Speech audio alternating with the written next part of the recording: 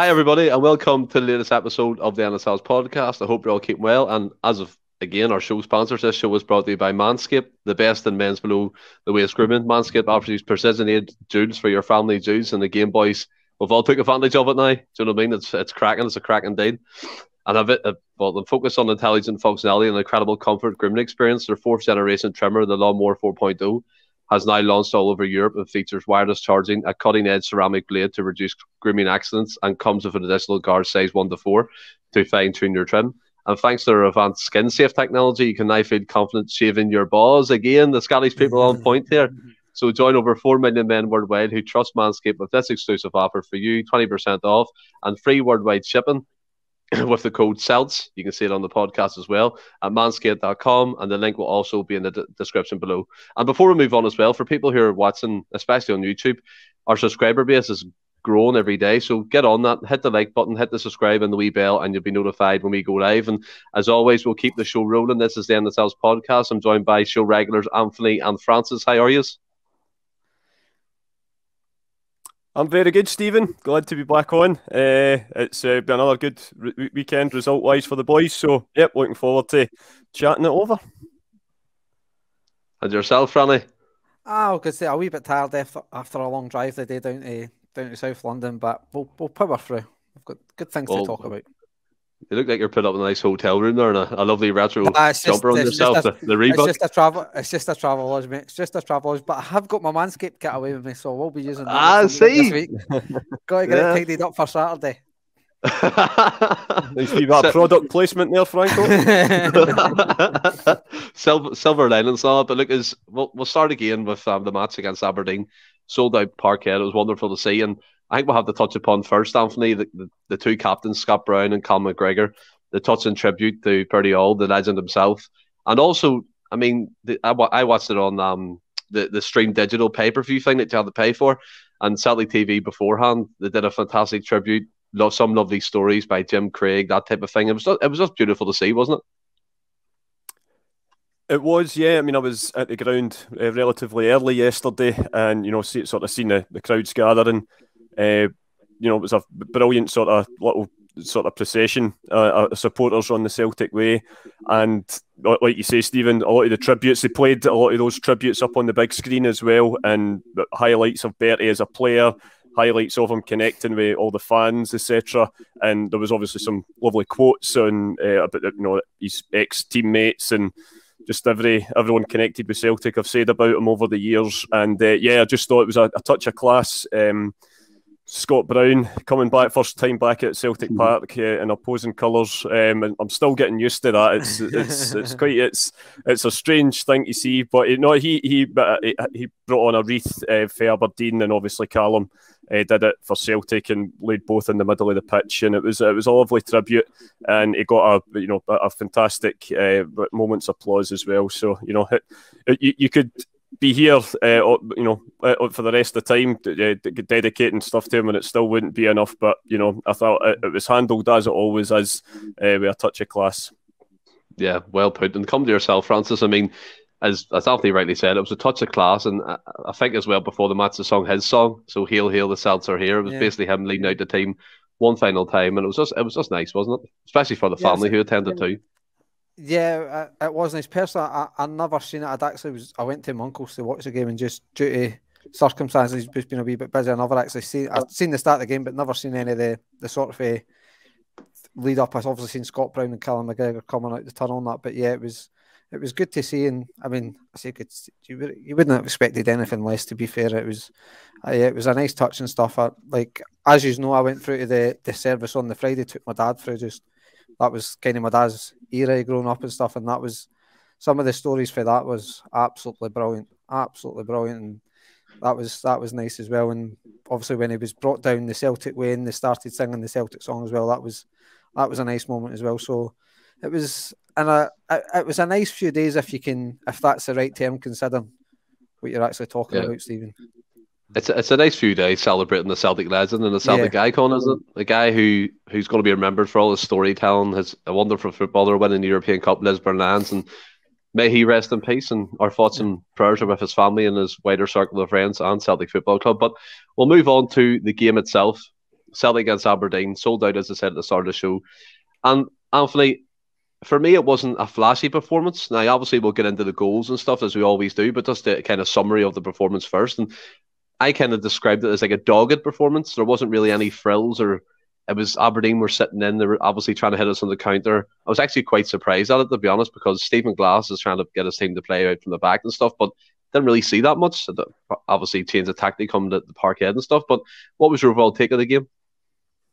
Yeah, I think a dogged performance is a pretty fair assessment, Stephen. I think um, th- these games, especially um, with the likes of Aberdeen, they're always up for for a for a fight, and mm. you know they, they, they, like you say they, they maybe set up a little bit differently, but I think um, on the whole it was it was a bit of a scrappy game. But funnily enough, actually being at them, it was quite a good game um, to be at. It was um, I wouldn't, it wasn't even necessarily end to end with chances either, but you could see that everyone on both sides. To be fair, they were you know they were obviously given a task to do, and everyone was doing their best to try and, and stick to it. Um, and it was funny enough. I just said to my dad about five minutes before the second goal, I says that we we very rarely seem to get a little break of the ball now and again in the penalty box. And uh, yeah, lo and behold, probably the the most bizarre uh, match winner um, I've ever seen at Parkhead. You know, but rebounding off uh, off Callum Shannon into the into the net. So it was th- these type of games, but quite similar to the one at Pittodrie. Uh, to be fair, they're uh, you know Celtic Aberdeen games are either you know you know we either turn them over by you know four or five, or the or it can be a, a day like yesterday. Um, but just so many games coming up and it's just that sometimes you know the results take precedent over the performances, and um, it was just important, obviously, with the fact that you know Rangers had had a, a win at um, Livingston as well, which you know their their record isn't really much better than ours at, um, at Livingston, so it was important just get the three points and then we move on uh, to next uh, next Thursday against Hearts. But um, yep, as I say, it's not a, what wasn't a, a, performance for the for the ages. Not one that will be on any Christmas DVD collection anytime soon. But uh, yep, it's one of those days they all count. As you, everyone counts, as you say. And come to your, yourself, Francis. I mean, Anthony already alluded to the fact that our rivals across the city they picked up a, a win at Livingston. Now, I've seen all the stuff going around about what happened in that game. Like David Martindale thought he was Pep Guardiola and playing triangle passes and going at them and all. So I don't, I don't know. Obviously, tactics yeah. change from game to game, so I'm not going to go into that. Managers decide who the team is and decide how to play. But focusing on our game now, it, it was a dogged performance for me. Obviously, the physical battle side of things, Aberdeen always bring it. They're always up for a fight. And we've seen that pretty much from the start. That was Joe Hart getting clattered as well. But before we get into that, what was your take on the performance? Much similar to ours, or do you have a wee different yeah, different I would say, No, I would say very similar. It, that, you could tell that we gave a lot on Thursday night, and I think we think that maybe impacted a wee bit at times. We like we had a lot of the ball. We were we were confident and comfortable on the ball. It was just maybe in that final third. Sometimes we just we lacked that wee killer pass for time time. But I think the team they, they never panicked. It was just they stuck to the game plan. They seemed to believe in what they were doing, which I, I found encouraging. It was you seen the way the team were playing. They were they seemed to believe they will create that chance. And obviously, like you talked about with the goal, it was it was actually a great pass for James McCarthy that then obviously mm. leads on to the goal and stuff. So it was nice to see like like obviously them sticking to a game plan. Aberdeen have obviously looked at the Livingston model and tried to sit in and sit like it has been known that we have struggled to break teams down, but I, I felt like we actually we dealt with it better and the fact that we did stay calm. We, we almost were at a walking pace at times, saying, "Well, look, just try and come and get it off us in." And they were almost inviting Aberdeen out and not lumping balls in and trying to force passes. It was everything seemed like nothing seemed forced. So it was yeah, it was it was a dogged performance. Like you say, it wasn't wasn't a classic. There was good good moments in the game and things. Jota was was was brilliant again in spells and stuff. But yeah, I think we I think we deserved a bit of luck that, that Callum McGregor got and it was like you said with the physical side, it was a very stop start game, which maybe contributed Aye. to the type of game it was, Stephen. But like Anthony touched on, it was the three points is all that matters. And like December, you play a lot of games, so if we go through December just scraping the three points, I'll, I'll kind of take that. To be fair. Yeah, no, hundred percent, and I think it's right. Every win counts now. Three points. I think yeah. ten games from now until January, or just uh, ahead of January. Uh, no, is it not about nine, eight or nine or something? It's quite a lot. Or uh, well, it's, yeah. it's quite a lot anyway. It's, it's still a hectic schedule, but we'll, Yeah. we'll move on to the game. It's, move on to the game itself, Anthony. And the first kind of thing I want to talk about is the Joe Hart incident at the start of the game. Now, watching it on TV is obviously different from the atmosphere you get around Celtic Park, and I'm guessing a lot of fans were when the sing Scott Bain getting warmed up, they were like, "Oh no, no, no, no, no." but even be- even before that, when that was all getting considered, I've watched it back three or four times. You see the replays on Twitter. For me, Christian Ramirez ta- takes Joe Hart from behind. Joe Hart caught the ball clean. He was ready to do his trademark sprint out to the edge of the box, kind of get the ball away quick, and he just got clattered. Now, if you look at the Kyogo incident, Anthony, on Thursday when the penalty kick got awarded when he got took out by their goalkeeper, which is quite rightly so, looking back on it. But do you not think there was, should have been some kind of action took against Ramirez? We've seen uh, it was Clancy, wasn't it, given some Yeah. baffling yellow cards to players? Surely that should have been one. Yeah, I'd- not far be it for me to stick up for, for Clancy. I think it was just perhaps the, because he, he, I mean, he had his, he didn't have a good game by any stretch of the imagination. I'll, I'll stick up for him a little bit there in the fact that it was the start of the game and it did come from a, a bit of a stramash. You know, everyone's sort of easing themselves into the match at, at that point.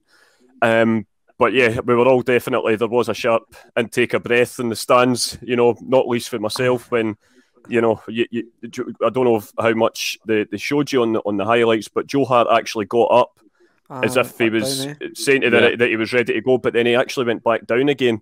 Um, but at that moment, he actually started clutching his, his knee. So uh, uh, we weren't sure. First of all, you're worried about is it maybe concussion, and then obviously after that, it's it's more the point is he perhaps injured himself. But you know, thankfully, uh, you know, he stayed on. He didn't have a, a hell of a lot to do after that. Um, he did have a great save, um, actually just be- not long before the penalty, uh, but he just put one round the post with a, a really good save.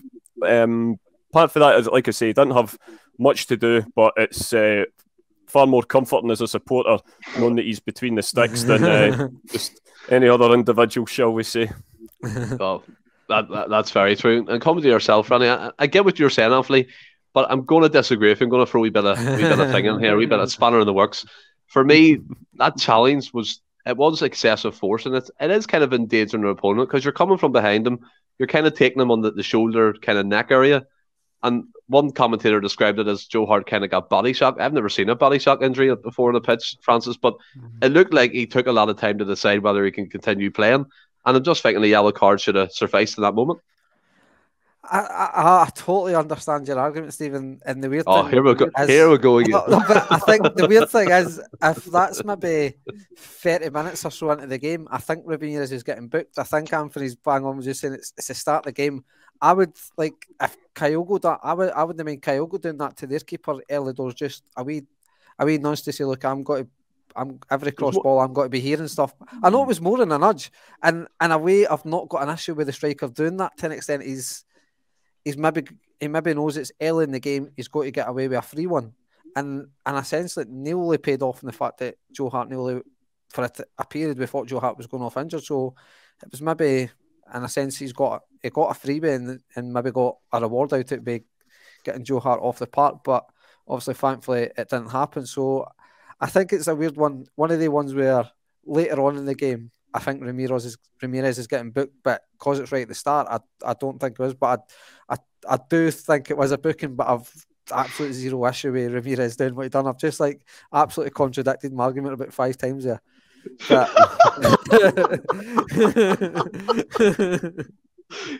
Oh, You'll be getting splinters sitting on that fence, Frally. Jeez, jeez, oh. but I I no I, I- as I said, no issue with it, but I, I know where you're coming from. Aye, but look again, it's just one of them things in the game itself that Aberdeen do bring the physical side of things, and Aye, We'll touch upon the- he was doing after it, was it no? oh, it was one of them high, them high kicks and all. Like, I, one of them, I was like, you're all right, you're all right. You don't need to do any of that. That was enough to know you were all right. He made them bunny hops look easy. I'd be on the floor, but like uh-huh. com- coming to the actual the goals itself and in the game, the gameplay leading up to it. And I'll start with yourself, Francis. The the Felipe Ayala goal. He's five goals in five games. We've spoke about it before. We need to press the button and sign him. So we won't get into all that this, on this podcast. It's well publicised. We need to sign this guy on a permanent deal. So get it done. But five goals in five games. It was a fantastic bit of play. One of the only times where we really opened up Aberdeen. Turnbull with a lovely kind of caress ball into Callum McGregor's path. He chested it down. He found Jota. Jota finished, and it, it was a it was a good team goal, wasn't it?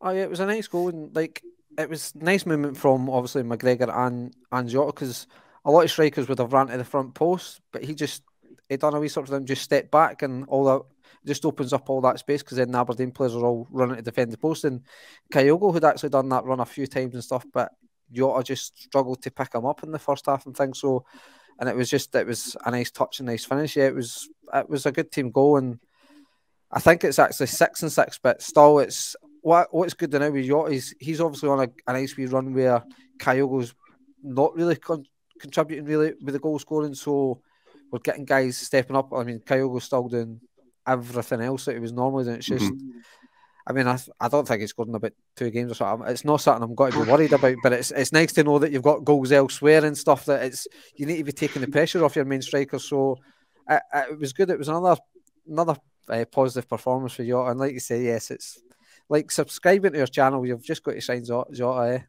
it's, the two things you need to do. subscribe to their channel and donate a pound every time you oh, subscribe. Oh, we'll get Jota. Get the discount. but look, Anthony, I mean, Francis makes a great point. It takes pressure off Kyogo scoring the goals, and Jota's what six and six now, so you cracked him in. I thought it was five and five. And as I said, the Turnbull pass for me made that move. I thought it was a fantastic pass. That McGregor already controlled it and took it in a stride and just played that simple ball. And the finish, that for me is what Postecoglou is looking to do every time we attack. But it's going to come in time we will, we will punish the team again, like them six nils we done earlier in the season. But what was your take on that goal? Uh, yeah, just like yourself, it was really great, great bit of play for Turnbull. That's what we know. He's got that in, in, in his catalogue. He's just he's a terrific player. I, I, I can't really praise Davy Turnbull high high enough. Sometimes I'm a, I'm a massive fan. Um, and it's good seeing him coming back into form as well because he had went off the boil a little bit. But um, and especially yesterday in, in, the type of physical game that it was, um, he, he didn't hide. You know that that was maybe one of his criticisms at the start that in these more physical games he, he does tend he was tending to sort of disappear a little bit out the game. But that finger can't be pointed at him yesterday. I thought he, was, he played very well, and like you say, it was a great little uh, pass in. And Jota just does what Jota does. He scores goals. He, you know, he can play football. He's handsome laddie. He, can, he looks like George Michael. He can no doubt sing like George Michael if the uh, if the Christmas adverts are to go by. Uh, so yeah, he's he, he's just loving life at Celtic, and we're loving him having him here. And yeah, absolutely, fingers crossed we can get that deal over the line. Yeah, there's one thing I do want to talk about. Obviously, it's a wee subtopic before we move on to everything else in terms of the game, and that's Mikey Johnston. Now, when he came on the European game against uh, Leverkusen, had to remember how you were playing. I just thought, I know he's come back from a long layoff and he just didn't look his usual self with the pace with his tricks. And again, the, when he came on against Aberdeen, just uh, it's not clicking for him. And I've seen him getting stick, Anthony, on Twitter. People kind of alluding to the fact, can he play football? Is he a football player? I know that's madness to say, but people obviously giving him grief because he's injured most of the time when he plays for Celtic. And you said Jota can do everything. He plays football. He looks like George Michael. you know what I mean? He's loving life at Celtic. But the workload he has playing there week in, week out, three, whatever, three games in a week, three games a week and a half, is still a heavy schedule. And for me, Mikey Johnston, at the moment, Anthony, isn't quite the understudy that we need. When I think we need someone better quality. What would you say? Yeah, it's, it's just a, one of those things where you know obviously there won't be any chance for any more recruitment until until January. Obviously, um, there's not really anyone else like you say that could Kyogo potentially could play out on the on the left. Um, he obviously he had him out wide to, to, and he's not really a left winger though, is he? He's um, you know he's he's more a left back, I would argue, or a, or a wing back. Um, there's not nothing to say that he couldn't do it, hmm. um, but obviously Jota is the, the, the main man at the moment. And yeah, like you say, if anything was to happen to him, then you would imagine it would be Mikey Johnston that would that would take over. Yeah, I mean, uh, he's one of those players you can see he's got all the talent in the world, but he does always kind of look a little bit sort of on the wafer thin side for me. It, it, uh, you, you want him to do well, obviously, and um, when he did, he did have a couple. He had a, a really good cross yesterday into Kyogo, and it, it, just got bought it just right at the last minute, and it, it done everything right and taking the, the defender out the game. So he's maybe just needing that wee break that will maybe spur him on because you know he has had had little golden uh, periods for him before, um, but like you say, at the moment it's maybe just not coming off for him, um, and I w- I wouldn't have imagined. Well, but having said that, there is a lot of games coming up. There might well be um, opportunities for him to to start, he has had a lot of chances before. So, like you say, it may well be that he's he's got to prove himself to Ange Postecoglou sooner rather than later that he can be relied upon, not just for form, but uh, for staying injury free as well. Because mm-hmm. transfer window coming up, no doubt the manager will have a lot of uh, ideas of, of players he wants to identify in certain positions. And yeah, the, the left is probably where they are a bit sort of thin on the ground at the moment. So if Mikey Johnston wants to cement a place in the team or at least a place in the in the squad, um, he's got to, you know, he's got to take these opportunities when they come. Yeah, I mean, you're, you're right to say about the transfer window, Anthony. I think he's the latest player who's meant to be signing for us. Again, rumours is a, a player called Reo Hatate or something, uh, the left sided mm. player from mm. Japan. He can play in multiple positions. So, again, if he comes in, that could spell the end of Mickey Johnston. We don't know about that, but come to yourself, Franny. I have supported Mickey Johnston, and I remember earlier in these podcasts, I have been saying that he's skillful, he has pace, he's got trickery, and he can score a goal as well. But I can understand why people are kind of being frustrated with him now. He, he's coming onto the pitch under a new manager, and for me, he's not quite showed his worth yet. I think that's all from from both these all fair arguments, and like I say, it's any sort of a youth player coming through the ranks. You, you you do give them probably more time. You want them to do well because. Yeah it's you can relate to the types of players and stuff that, that you almost feel like it's like we've said it's like your wee boy or something just making it in the first team but there's there's no doubt in Mikey Johnston's talent. He has uh, he has got it there and stuff. He has got the tricks and and things but it's it's like we've always said it's just that can he stay fit? And like Anthony alluded to with the transfer window coming up if Mikey Johnston wants to be at Celtic and wants to be a big part of this he's got I mean, he's obviously got to be given a chance, but he, has obviously featured the last few games and not really, not really done great, or not for me. He's not really grabbed his opportunity. I, sometimes it's hard, especially games like Saturday when it's stop start. It's it's hard to really for that type of play to get into a game, but. If Mikey Johnston really wants to be a part of it, he could save us some money in the, in January. Maybe we can invest that elsewhere if we are looking at the, the sort of the left wing area if he if he can step up to the plate, it, it can save us some money. So it's one of the, I, I I'm not too sure if it's now or never for him. I think he might get the rest of this season. I'm not saying we won't maybe look to strengthen in that area in the January, but I I, I think if he's still struggling by the end of this campaign, I, I sadly can't see a future for the guy at Celtic beyond that. I mean, football is that sort of vicious cycle, really, isn't it? Because uh, you, you have wingers similar to straight. It's, it's all about confidence and mm. and you know getting getting a run of games. And if, if, if he's getting a run of games, but he's not feeling confident, then that's going to show in the pitch. And it's you know it just it, it can be a bit like, of a vicious cycle. I mean, I've, I've seen Mikey Johnston in, uh, uh, light up games. But one of the first games I took my wee boy, he, he was man of the match. Um, that day it was a game against Dundee a couple of years ago. So, like we say, the talent's there. He just, um, but yeah, uh, like like every he, like every other player at Celtic, when a new manager comes in, they've got to they've got to raise their game and make that um, place in the team um, their own.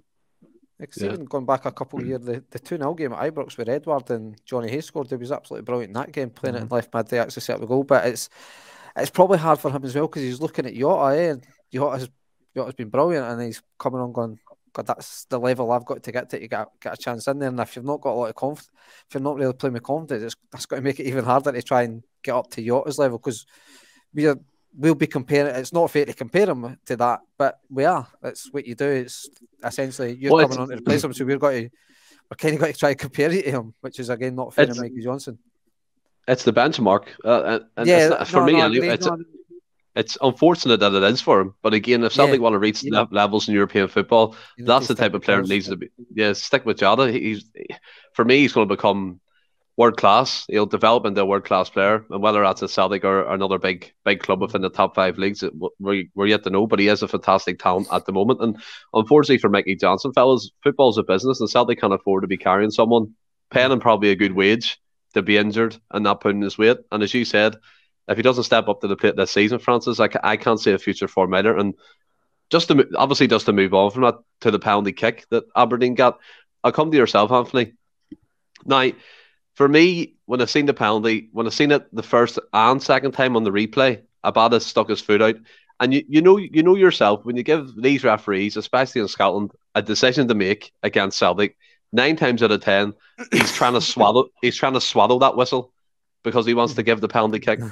And watching it back, my I was watching with my grandfather, and he was adamant straight away it, it wasn't a penalty. And me and him had a wee bit of an argument about it. And I was like, if you give these officials officials excuses, Anthony, they'll take advantage of it nine times out of ten. What what was your take on it? Sort of much the same, to be honest. I, I can. It's one of those ones. I mean, Clancy couldn't get the, his whistle in his mouth quick enough. You know, that's what one thing. But by the same token, I don't think it was a penalty kick, and I've I've looked at it numerous times. It's one of those ones I can understand why it was given, but I just think if that's a penalty, then you know, I, I put it this way: for, for the, all the contact that there was, the I, I can't remember the, the Aberdeen player's name now, but he, uh, he, he, flung himself down as a, yeah, that's him, uh, Francis. He, he flung himself down as if he was Neymar. I mean, it was it was quite pathetic. Um, like you say, you, you, you are giving the referee that option, but you know, for me, it, it, there wasn't enough to, to merit that that sort of level of uh, of performance um, from, Bates. But having said that, Abada that for the, for the rest of the game, you know, there was shades, especially the first half. Him and uh, Tony Ralston worked did work well together, and his speed was causing the, the defence like, a, a, lot of issues.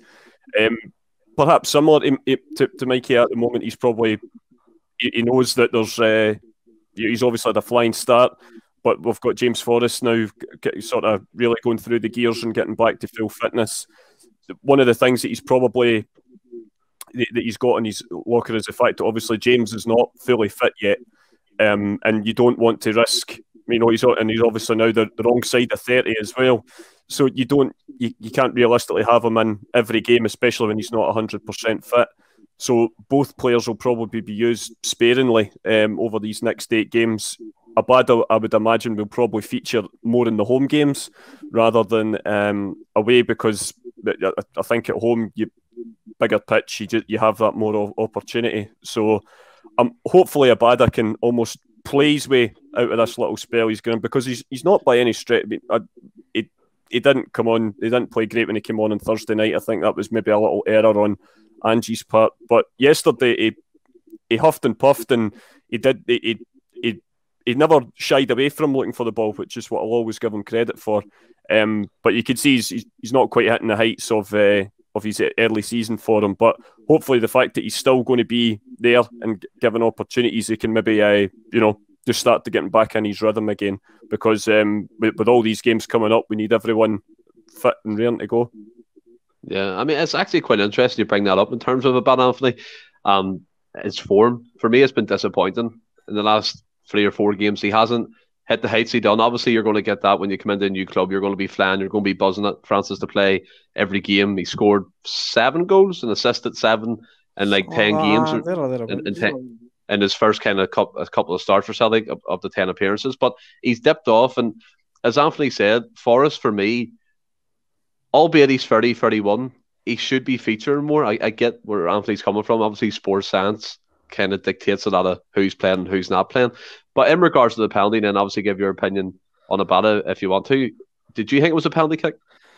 I did it first. See, in real time, I did it first. It looked like a penalty, and so that's where I'll I'll maybe defend Clancy a bit. I think it looked like a penalty, but then obviously with the benefits of replays, you can see. I mean, Abada does put his foot in, but he clearly pulls it out and, and Bates invites a contact. And I don't know if anybody's caught Sportscene, but Kenny Miller summed up great by saying Aye, Bates, Bates invited the contact and made the contact, so it's a penalty. And I'm like, well, how does that one actually work? How, how is that an argument for the penalty?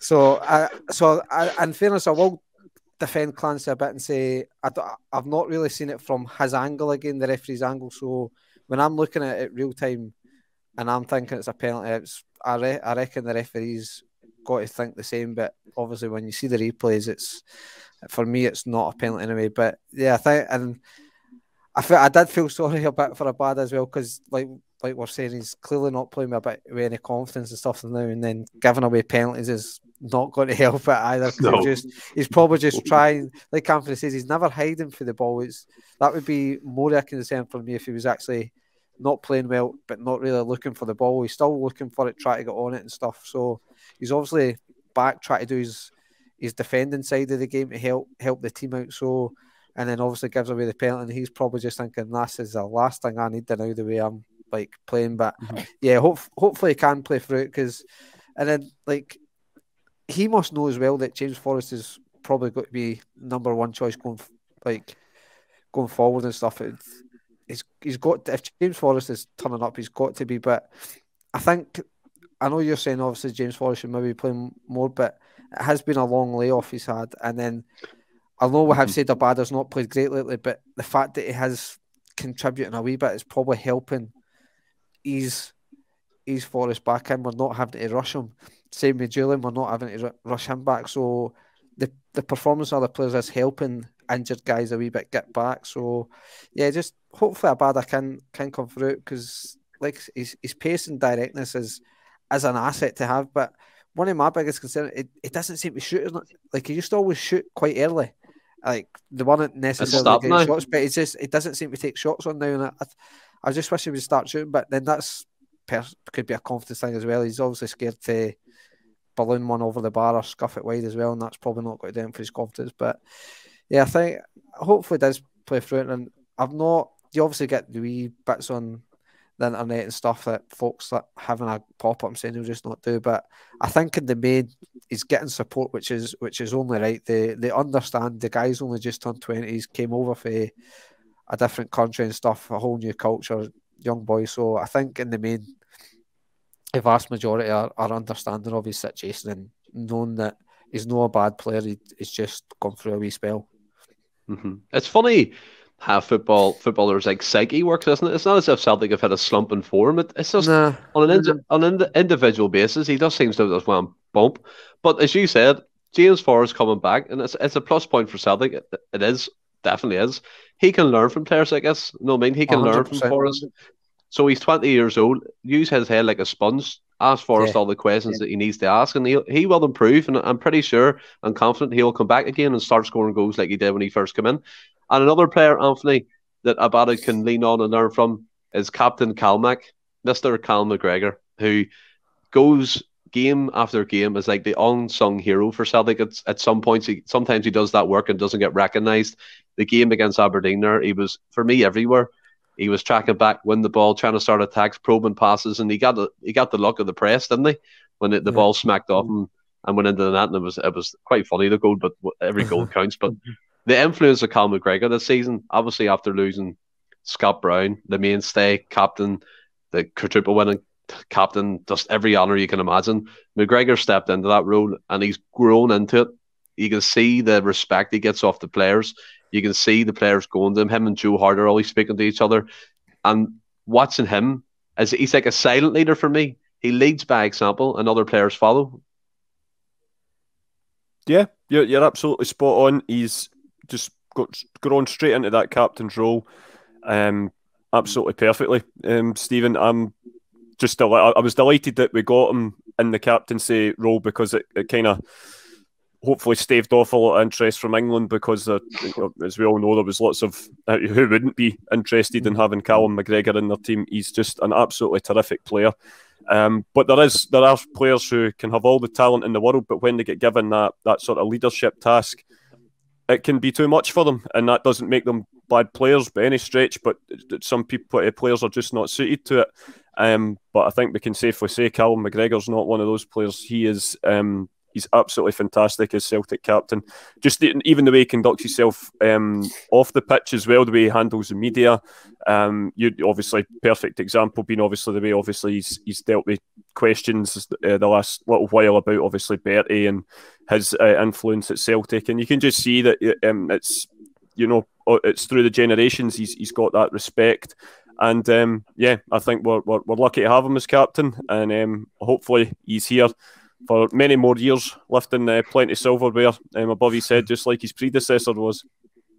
For for games like against against Aberdeen, the, the dogged performance, Franny, it's vital to have players like him because he keeps a calm head. I've never really seen McGregor lose his temper, albeit he might get involved in a wee scuffle, but he's usually the one pulling the players away.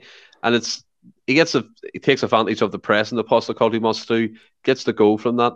And if that shows one thing, he's definitely banned into what Postecoglou wants to do, which bodes well for the rest of the team in terms of banning into that philosophy. And he, he he's just he epitomises Celtic for me. He's a Celtic man through and through. He's been there, come through the academy, and as Anthony said, for me, he'd walk into most teams in any league in the world. Oh, 100 percent. Like he's he's an eight, eight and a half out of ten every week, and I and I think he's sort of guilty of his sort of uh, performances every week. It's like he puts in performances like Saturday, and like, well, you, you don't seem to get necessarily blown away with because it's it's just what you expect, which is a wee bit unfair on him. You're sitting going, ah, well, that's what he does. At the end of the day, it's one of them, and I, I just it like you say that gets the goal off the press, which obviously, if the captain's doing that, then you hope that everybody mm-hmm. comes along with him. So, like you say, it's setting an example and stuff. And I, he's an absolute cracking player, just so comfortable on the ball. Like it's and then he's left footed, so it always just looks a wee bit better. Eh? Just left footed players, just for some reason, they're just they look a wee bit more special. And uh, but I uh, just uh, he's a really good player. And, like and then obviously, like you were touching on with Abada and stuff, like Abada should be talking to guys like and Forrest because then they're two Celtic fans, so they want Celtic to do well. So by teaching Abada and giving him sort of a lessons of it, telling him how to improve and stuff, it's it can only benefit the team as a whole. And it's like William said, it's, it's totally grew into that captaincy, and that it's it's almost been the making of him of not like he's been poor in previous, but it's almost been the making of Callum McGregor. It's taking it to a different level, I think. He obviously he carries on to the international scene as well and stuff. It's just mm-hmm. Like you, but I I just can't speak highly enough of the guy, and he just off the pitches, you never see him on the front pages of papers and stuff like that. It's and then I don't even know if he does social media, which is obviously a rarity, a rarity the days like with the days footballers and stuff. So yeah, he's just he, he carries himself well, and he's just is what you want a captain to be. He's, he represents the club just perfectly for me. Yeah, 110%. And obviously, the game finished 2 1. Celtic take the three points and keep the pressure on the top of the table to our nearest rivals. But you think that'll be an Anthony, wouldn't you, in terms of the whole kind of thing around that game? But I want to rewind, rewind right before kickoff. And the Green Brigade, yes, many do say certain things about them, criticising for certain things, but they organised a fantastic food donation for food banks, um, which they have been doing for the last 16 years. And unfortunately, yesterday, the cops Anthony decided to show up and hand out fines. I think for me, that's an absolute disgrace. It's appalling. And Celtic Football Club should come out and support the fans who were doing this event organising this for people who are underprivileged within society, who have to go to food banks, and even though they work, they can't afford a proper shop for the week to feed their kids, to feed their family. They were doing a good thing. They shouldn't be punished for that. Absolutely, I, I couldn't agree more. And like I say, I'm, I'm not the Green Brigade's biggest mascot by any means, but um, that this is an annual thing uh, that they organise. Um, I've been part of it myself a couple of years ago. I, I, I thought helped I uh, take donations for for Fauldhouse, uh, and we, we drove through. And even that day as well, yeah, uh, pl- you know, Police Scotland's finest were uh, telling uh, us to move along with, with, where our vans were parked, even though there was wasn't blocking anybody. Um, it's just a shame Police Scotland weren't as keen to enforce the law of the land um, back in March when you know a certain group of other supporters were defecating and wallowing in their own filth in George Square. But you know, it's um, it's par for the course. Uh, and I thought James Dornan, uh, not James Dornan, uh, but, but, I'll take that away. Uh, John Mason's uh, disgusting uh, comments, um, who's the local MSP, just shows you how out of touch the political and policing class are. We, you know, perhaps if if that guys like him were doing their jobs properly, we wouldn't have to organise food bank collections. Um, like 100%. I say, I'm, I'm not, I'm not, um, as I say, I'm not, I'm, I'm not the Green Brigade's biggest fan, but I, will always uh, give credit when it's due. And you know, thanks to those actions yesterday, um, there'll be a lot of people, uh, vulnerable people, with uh, their bellies just a little bit more fuller at Christmas. So um, I, I totally take my hat off to them. Yeah, hundred percent. And Francis yourself, I, I could see you nodding in agreement when I was speaking. Mm. I, I think yes, people have different conceptions, different kind of outlooks on the Green Brigade. For me, I support them ninety percent of the time because they're a voice. They're they're a voice of the support. They make the atmosphere in Celtic Park, and the food bank donations. The, the way they do it, it's an annual thing. Sixteen years. They, they feed people yeah. around the east end of Glasgow, wherever it may be. And as Anthony said, if people like John Mason done their jobs properly, this wouldn't be a position that society has to be in. It's disgusting. It's deplorable that there are punished for trying to feed the most underprivileged families in society. Yeah, no, I was actually glad you brought up Stephen because I think as a, a, topic we should have been talking about, and like you say, it's been going on for 16 years, and I think that actually we're the part fans at the weekend. I, am only going by what you read online, but they've, they've, done that for four years in the trot, and this is the first year yep. they've actually picked up fines for it. And like, I don't want to be sort of a uh, deemed as paranoid, but is this anything to do with the, the Higgins sort of the things in that? It's just, I just don't get the fact. Read, read the situation. Like Police Scotland should be reading the situation. Obviously, the traffic wardens. I, I kind of feel. Can you feel a wee bit sorry for because they're at the end of the day they've been instructed to do a job, and then folk are videoing them. So it's it's hard for them then not to do their job in the sense because they could then lose their job out it. So it's, it's hard for I, I felt sorry a wee bit for them finding their faces online doing their job at the end of the day. Whether we agree with it or not is a different one. I don't think their pictures should have been shown in, but I don't. I just think I think Celtic really need to come out and condemn the actions of Police Scotland. It's because it's like you say, as an annual thing, what they're doing, it's like Celtic's built on that kind of charitable nature. Yep. That's what Celtic. It's the foundations of Celtic. So to just again sit there in silence and not even release a statement just saying we, we support it. Like, I mean, I'm sort of in the middle we used to with, with the Green Brigade in the sense that I'm sort of 50 50 them, but you can't you can't fault them for, for this. This is like you say, it's an annual, it's not been a one off thing. They've done this year on year since they since they formed and it's it's a good thing to do. It's horrible that they need to do it, but it's also good that they, they, they, they do do it and stuff. But yeah, I think it's the fact that Celtic is the the very foundations of Celtic is built on charitable acts and feed the poor, so to speak.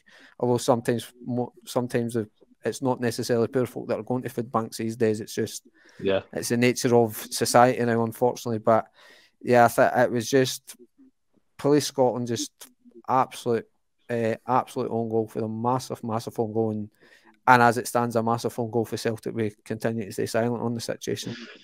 And the, the most the most thing striking thing in this whole event, you guys, is that the Green Brigade organised this through Celtic Football Club, so they were aware of this event, and they should come out when, whenever they should be out right now, releasing a mm. statement saying they're fully behind this food donation because it, it helps so many underprivileged families. And another thing I want to touch upon, Anthony, obviously. I wasn't aware of this until about two hours after kickoff, so I'm a wee bit naive. But Celtic, some Celtic fans groups like the Boys Group and the Green Brigade had a sit-in protest, obviously against the rumored imminent appointment of the the Bernard Higgins situation.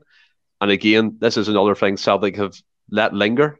They've let they've let it's it's creating a poisonous atmosphere. I know you were at the the, the game and there was a protest during the game. If I'm correct, I seen the, the white banners and stuff, and uh, uh, there was a song "Stand Up If You Hate Bernard Higgins." Is that correct? Yeah, yeah. going going through Celtic uh, Park. There was, yeah, and uh, amongst the other songs as well, uh, the usual kind of repertoire that you can imagine. um, and, and, and, there was um, a, there was a, a, banner put up just basically saying that you know, basically making their feelings clear on the situation. And then uh, with about 15 minutes to go, the the Green Brigade unveiled a banner announcing that there would be a sit-in protest um, after the match, which is not which is strange because normally when it's things like that, you hear about it way in advance. Maybe they were yeah. trying to do it, perhaps um, use the element of surprise. Um, but yeah, I've, I've really not seen a subject that I think it sort of goes. You know, Celtic is a, is a massive club with a huge, huge support. You know, we're, we're a broad church. You know, we certainly don't all speak with one voice. But I, I have I'm, I'm really struggling to remember an issue that sort of goes goes beyond um, any sort of you know left and right or you know you know certain views or anything. This seems to be a very unifying subject that we do not want this guy on the payroll. Um, I think obviously we put our name to the the open letter that ACSOM read out uh, last week, and, and when you think about it, that's all those supporters clubs, all of those uh, associations, they will no doubt have hundreds of members, um, but it, you know, perhaps even you know thousands who every every year pump millions of income into the club. And for all of those people, all of those different from from trusts to fan media to supporters clubs to all unite behind that one letter to say we're, we're against this. Um, it, it, beggars belief that it's even still being discussed that, that this guy should not be within 100 miles of Celtic Park. I can understand why Celtic are not making statements in terms of they're not wanting to fan the flame. But at the same point, it was also them that lit the fire in the first place by even considering them. Now, this is, and, and I, I, can't remember, I think it was Kevin Graham, I, I, I might be wrong, or it might have been um, Paul John that made the point on um, a, a, previous ACSOM uh, broadcast last week when they says the, the, the, the hypocrisy from Celtic's standpoint on this is Celtic themselves officially put their name against the Offensive Behaviour at Football Act. I can remember and, and, and, are now are now considering hiring its sort of chief enforcer.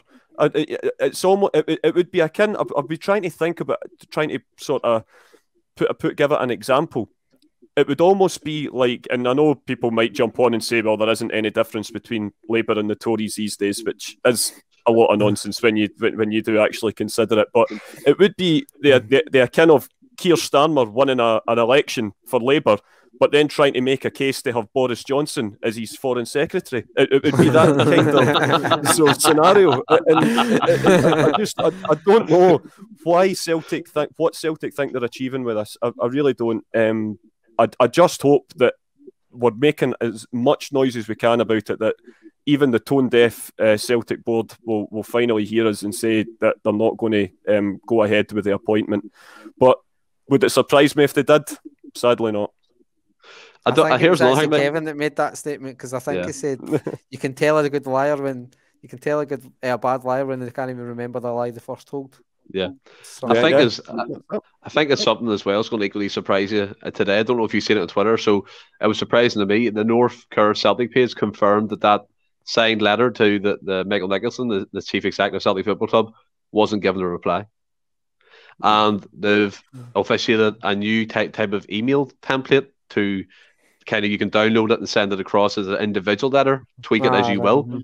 But for people who want to do that, you'll find that on Twitter in the North Curve Celtic page, uh, Celtic Shared, Celtic Trust. You'll find it. It's out there. Get on it, get it sent because, Franny, if they appoint Bernard Higgins, I can only imagine the type of reaction. Now, we've seen the, the protests that happened, obviously, during the, the lockdowns and stuff, the Ross County game, the fans. Mm-hmm. Obviously, elements of it was wrong, but again, the majority of people were there, kind of wanted a peaceful demonstration against the Celtic board and the management team at that time but it would it'd be ten times worse, worse in my opinion, Franny, and, and I dread to think. I really do.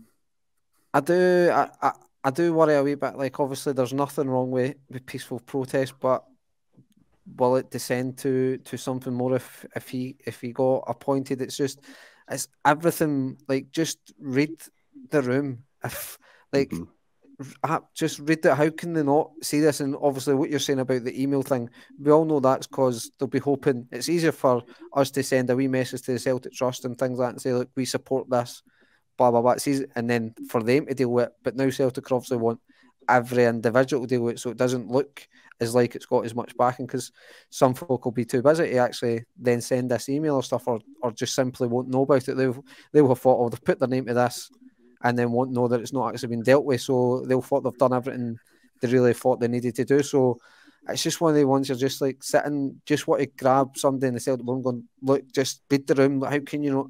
How can you see this? Be considering this, like I'm with Anthony in the sense that they don't really need to give a statement, but just don't be con- considering the guy. And I say, I do imagine, or, or, or, or, at least like at least like leak it to some like news reporter, uh, and then leak like it that way. Leaked it, how they've looked, yeah. how somebody's looked at to say that he was getting the job. Exactly. They've, never actually came out and said he was getting it, but somebody's leaked it. Somebody, somebody within Celtic's leaked it to mention absolutely. his name. But it's just, it's, it's absolutely everything we don't read need right now. Like, it, but to sort of flip it, it just shows you the good job that Postecoglou's doing. That he's, mm-hmm. it's two separate issues right now, and I think that's what's good. That everybody's still sticking by the team. They're trying their best the support not to make it affect the game and not affect the team. but then also sticking once I've got once the timing is right, they're they're voicing their concerns on this. So it's like I say, it's just Celtic board just really need to read the room and get this distraction away before it potentially has an impact on the team, which we don't really need right now because, as we've said, it's it's it's very very positive on the part of now. And we just don't need off-field distractions. Nah, I and I totally hundred percent echo that. And again, I'll say to the people who's listening and watching, just if you if you want to find the, the latest kind of email template, go on these pages: Celtic Share, Celtic Trust, North Curve, North Curve Celtic page as well. It will be there. Download it, get it sent because I think I think as Anthony you rightly said, I can't remember an issue, albeit you guys have more experience in terms of back in the nineties and the 80s mm-hmm. maybe maybe stretch a wee bit further for Anthony. No, but just just this, this is an, a man who, as you said, tried to bring this offensive football act thing. It was an absolute target against Celtic fans. We do not want him anywhere near the club, and we'll move on from that. And we'll look ahead to a lovely Europa League tie against Hearts on a Thursday evening. No, we're back. We're back to domestic football action again against Hearts on a Thursday evening and a late night kickoff. Core date. I think that gives me a nice goosebumpy feel come up to the Christmas. And I'll come to yourself first, Franny, about this game. I mean, Hearts are sitting third in the table. They're coming off the back of a, a home win against St Mirren, 2 0. They lost their previous game against Motherwell 2 0. But again, Hearts were the form team at the start of the at the start of the league they were unbeaten for a while. Are you expecting a tougher, well, a tough game? Yeah, because I, I expect it to be a bit physical as well. I, I think they'll they will try and upset. It's they aren't they're they're sort of a not that I'm paying too much, but when you see obviously the, the scores come, they, they sort of seem a wee bit Jekyll Hyde. That's there might be one one week and lose the next. It's there's not I'm not really showing that early season form now, so it's maybe being at Parkhead, I'm obviously really like fairly confident it's going to be a positive outcome. But I think they may they may look at the model of like one of the boys at my work. He's a he's a big massive jambo and goes to games and. He's saying they kind of play five at the back, so I wouldn't be surprised if they're adopting what Aberdeen done at the weekend, St John's have done in Livingston, where they'll just try and sit in and soak it up and stuff, and I'll be honest to try and break it down. But I, I, I can't I, I do think we'll get a, a, a positive result, Stephen. But I think it, it it's got the makings to be a, a tricky game because Hearts aren't a bad side at the end of the day, but they're, early, they're, they're struggling to continue with their early season form. In fairness. Yeah, I totally agree. And come to yourself, Anthony. I mean, Franny makes a great point. The back five. I'm actually just looking at their previous lineup, and it, it was a back five with the wing backs, obviously, of the of the centre backs. And they've got quite a good team when you go through it. Craig Gordon up there was the top three goalkeepers in the league. You've got John Souttar, a centre back. Much football teams are after now because he's on a free. You've got Liam Boyce up front who always guarantees guarantees you a goal, and Barrie McKay is like the, the kind of maverick in the team. Are you expecting a tough game coming on Thursday? I think there's there's never any love lost between Celtic and Hearts, isn't there? It's always kind of feisty and, and physical, um, as as we all know. Uh, but so, like you say, Stephen, and, and, obviously they have an experienced sort of Premiership level team. Um, Craig got, but you know, obviously we're, we're very happy with uh, with Joe at the moment. But you know, we should never have got rid of Craig Gordon. It was one of the many errors made uh, last season, uh, and he's shown his worth not just for club but for Scotland as well. He's um, he's been performing heroics for us through the World Cup qualifying campaign. So um, yeah, it's it's definitely going to be a tough game. There's there's no doubt about it. But hopefully we've got our uh, our shooting boots tied up a bit better, and uh, we can get a result because. As we as we all know, there are few things better in life than scudding the minis. So here's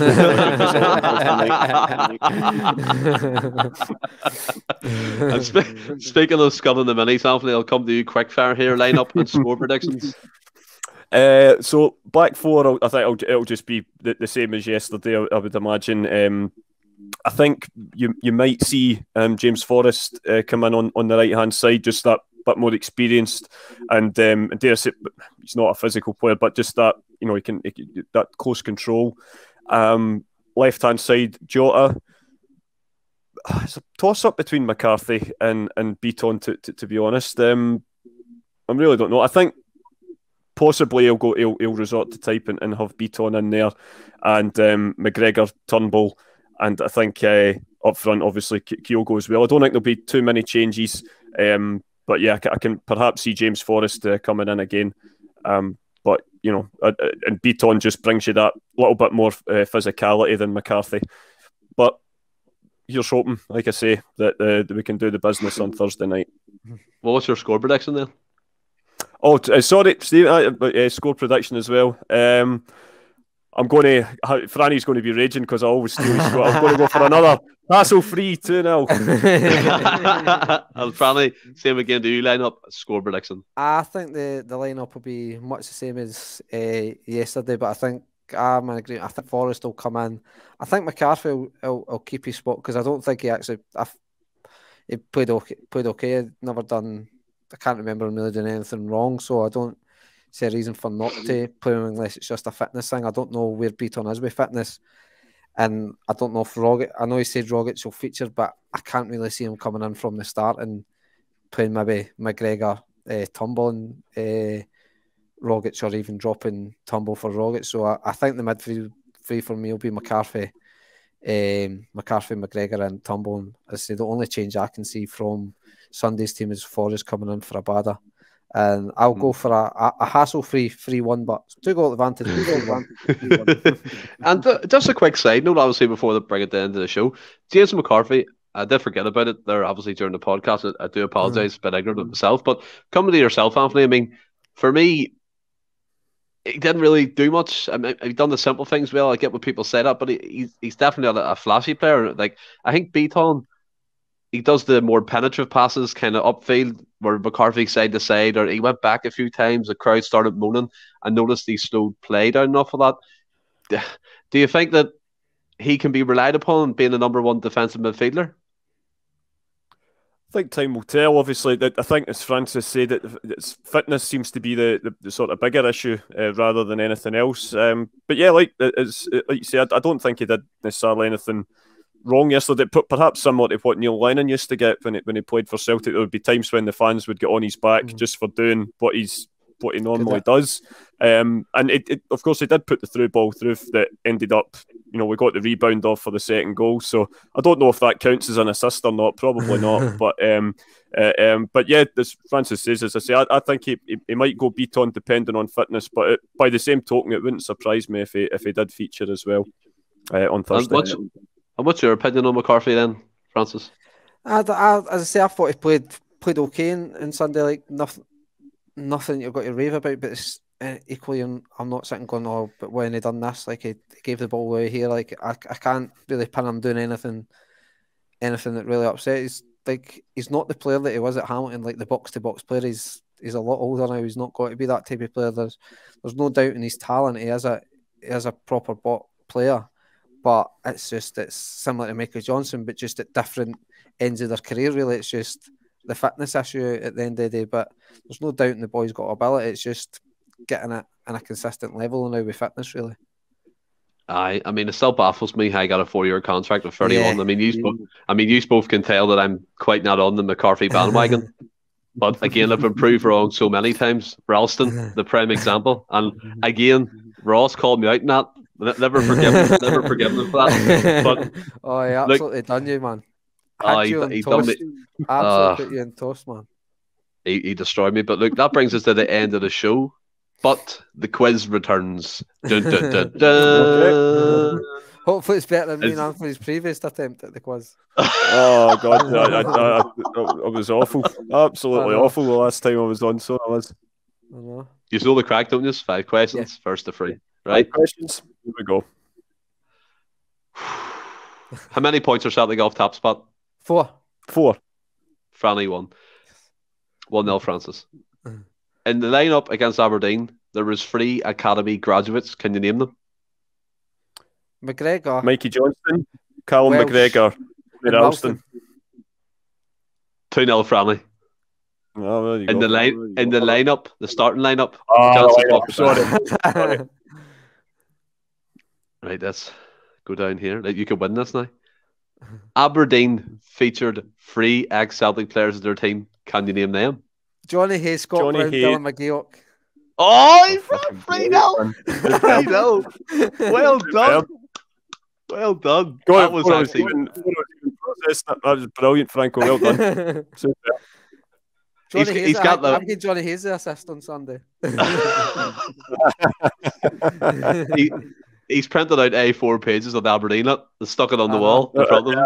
So, So I've uh, been, that's what we've been been doing enough, I I've tell you. been in the hotel since I got back. And again, people who are listening and watching, Manscaped, our show sponsors, they've been, they've been really kind to us and they're trying to be really kind to you. 20% off. Christmas gift for the family, for friends, for anybody really, anyone you think of, anyone who's close to you.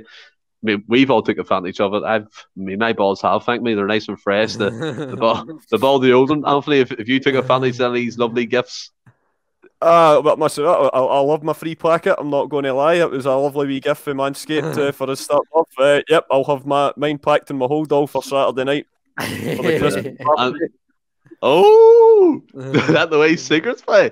And then obviously, Franny, we all know Williams' favourite's the, the ball chafer. Stops the Yeah. What about yourself? I mean, I, I like the boxers because see, after you've just done the business and that nice silky boxers, they feel they Oh. feel great. They feel great once you've Yeah. done it. Done it. Yeah, and as all as, and as always, folks, your balls will thank you. And and again, on YouTube, hit the subscribe button, hit the bell. You'll be notified when we go live. We appreciate everyone's support. We'll have a, a growing fan base, and we're absolutely loving it. And to my show regulars, Anthony and Franny, have you enjoyed it? Yeah, it's been good, Stephen. It's good. Absolutely. Yeah, it's always good getting back on, and obviously we'll be, uh, as I say, we've got a lot on this week. We've got a big game, and obviously we're recording, we're recording our content for Axom's charity weekender, which we're absolutely delighted to be a part of. Ah, so sure. uh, yeah, looking forward to us recording that. And then uh, obviously it's the big one on Saturday night, so I'll see you there next time. I, uh, have a chat with these. Um, I could be slightly delicate from the.